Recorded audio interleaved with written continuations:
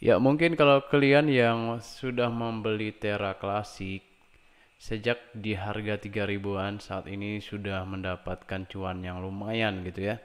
Nah, di mana ya kabarnya ini katanya Terra Classic ini selain kemarin Terra Terra Lab atau si Dokwon itu membuat Terra Luna 2.0 ternyata Terra Classic ini guys masih banyak komunitasnya dan tidak tanggung-tanggung. Nah, kalau lihat di sini volumenya ini masih di 12 triliunan. Dan sudah naik 3,62% untuk hari ini. Ya, walaupun memang ini katanya peredaran supply-nya ini sisa sedikit, guys. Ini ada cuma 6 berapa nih? 6 tri, ya ini kan 6 triliun ya. Nah, 6,1 6,1 triliun yang sudah beredar dan supply totalnya di 6,9 nah ini kan senyuman sedikit lagi cuma berapa uh, ratus miliar lah mungkin gitu. Nah katanya itu yang akan menyebabkan nanti harganya akan naik. Ya kita juga tidak tahu apakah karena mekanisme burn yang yang pajaknya itu dihapuskan oleh Binance atau tidak. Ya karena kita lihat Binance sendiri itu sudah membuat fitur staking ya untuk Lanza. Kalau kalian cek di Binance itu kalau tidak tidak salah saya dan saat ini bisa dikatakan ya Terra Klasik ini menjadi salah satu primadona lah ya.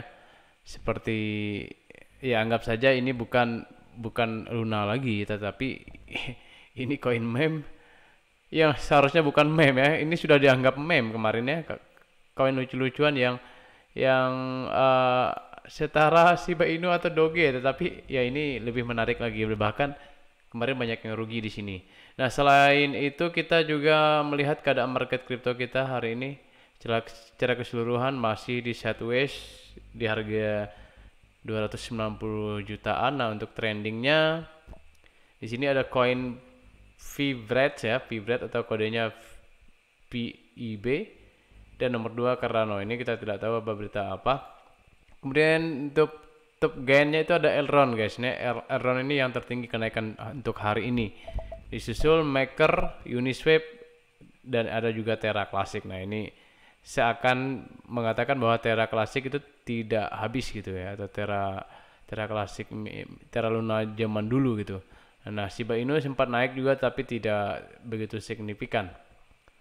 Nah, yang menjadi masalahnya ini Celsius guys. Ya, Celsius ini ternyata ini uh, indikasikan sudah bangkrut katanya. Ini ini ada berita yang mengatakan Alex Masinski kemarin ya.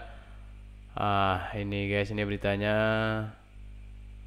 Ah, katanya ini kan fitur pinjaman di Celsius ini CEO-nya sudah mengundurkan diri. Bahkan katanya ini sudah menuju kebangkrutan. Nah, dari situ banyak para pelanggan itu ya pelanggan. Ya pelanggan itu sekitar hampir 300 ribu pelanggan ini. Pengajuan pengadilan sebelumnya telah mengkonfirmasi bahwa 300 ribu pelanggan memiliki saldo lebih dari 100 dolar. Dan Celsius saat ini bergulat dengan lubang hitam bernilai miliaran dolar. Wow guys. Nah jadi Alex Masensky ini kan merupakan salah satu kripto apa tokoh kripto terbesar juga ya yang membuat jaringan Celsius Network yang katanya ini sudah menuju kebangkrutan tetapi ini menariknya Alex Masensky menarik 10 miliar dolar dari Celsius beberapa minggu sebelum akun dibekukan. Nah ini juga menjadi berita buruk juga kata ada apa gitu katanya. Ada apa dengan Celsius? Jangan-jangan uang yang mereka yang ada di Celsius itu tidak bisa kembali. Nah, dengan ke, ada berita-berita seperti ini tentu tidak baik untuk dunia kripto gitu. Nanti dunia kripto itu dianggap menghabiskan uang orang gitu. Ya walaupun dengan kerugian-kerugian tentu ini juga akan merogoh kocek kita. Makanya sebelum kalian terjun ke dunia kripto harap dipelajari bagus-bagus. Uh, ini juga ini ini juga kita lihat kita lihat artikelnya ini juga uh, menjadi berita yang tidak mengenakan juga untuk dunia kripto gitu guys. Ya. Ah. Ah ini guys ya. Putin memberi Snowden ke warga negara Interpol mendapatkan bantuan dalam pencarian Dokon dan F. Wow ini guys. Dokon ini ya yang Terra klasik tadi gitu ya. Nah ini tidak penting ya untuk kita bahas, tapi ya ini. Uh, ini guys, jadi uh, memegang LAN di portofolio Anda mungkin bukan kesalahan. Nah inilah alasan beberapa alasan kenapa kita kemarin ya buat kalian yang sudah beli Lans atau Terra Classic ini wah merupakan kabar baik lah gitu. Tetapi disclaimer on ini bukan ajakan untuk membeli dan menjual aset kripto. Nah, baru-baru ini Terra Rebels, akun Twitter untuk pengumuman terkait Terra, mentweet mereka telah membuat peta jalan baru untuk Terra Classic. Nah, ini guys, roadmapnya di sini kalian lihat saja roadmapnya, quarternya. Ini ternyata ingin digarap lagi mereka gitu. Kemungkinan ya karena komunitasnya yang banyak dan ini masih dipercaya oleh para investor retail seperti kita dan harganya juga masih murah, maka Lance ini bisa dikatakan ingin bangkit kembali walaupun ya memang sudah banyak uang yang yang rugi di situ ya. Pencapaian baru-baru ini lainnya adalah menerima dukungan dari Binance. Nah ini guys, ini yang saya katakan bahwa Lance ini sudah didukung oleh Binance. Ya, ya mungkin karena investor Lance itu kan banyak di Binance ya. Kemarin kan sempat banyak untung di Binance itu ketika firing Lance BUSD atau Binance USD-nya, stablecoin BUSD-nya itu dibuka dan kemarin banyak yang dapatkan untung juga di situ. Walaupun akhirnya turun lagi dan saat ini masih sideways di 4 ribuan, 5 ribu sampai 6 ribuan gitu. Nah, lah jadi nih biaya konsultasinya 1,2% untuk semua setoran yang diterima di platform sebelum dikreditkan ke akun pengguna.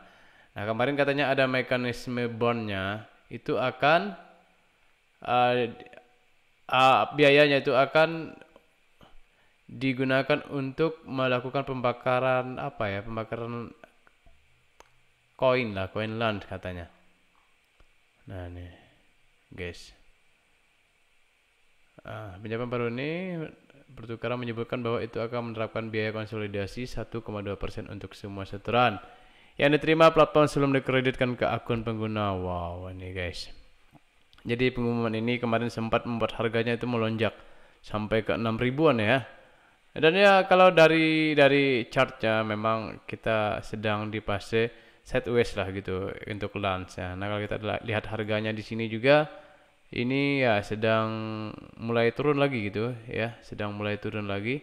Tapi ya inilah dia, ini lance ini kan pernah mengecewakan kita, jadi jangan sampai kalian masukkan uang kalian ke sini guys, ke Terra Classic ya karena ini itu sekali lagi ini sifatnya itu sudah spekulasi ya kalau untuk di Terra Classic sendiri jadi jangan sampai kalian apa namanya uh, percaya diri saja gitu Lans itu akan memberikan keuntungan.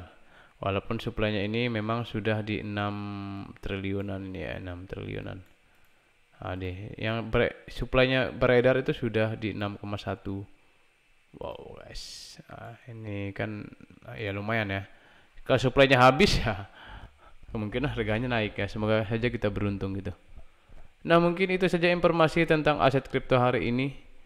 Kita lihat XRP, XRP ini masih sideways karena sudah naik 36% selama satu bulan. Eternity ya 116% dan ini guys GIFI GIFI ini oh ini koin apa ini 16,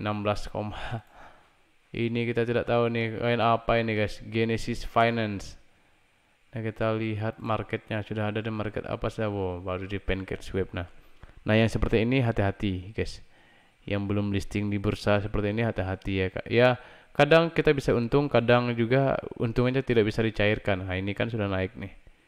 Dari berapa nih? Oh bulan 2 dari 2000 kemudian naik ke 15000 naik lagi ke 23.000 dan sekarang di 15.000 ya nah koin-koin seperti ini hati-hati. Yang pasarnya itu baru sedikit gitu. Hati-hati guys. Nah mungkin itu saja informasi hari ini. Jadi buat kalian yang belum subscribe silahkan subscribe like dan komen. Biar dapatkan informasi terbaru dari channel Dion Sane. See you next video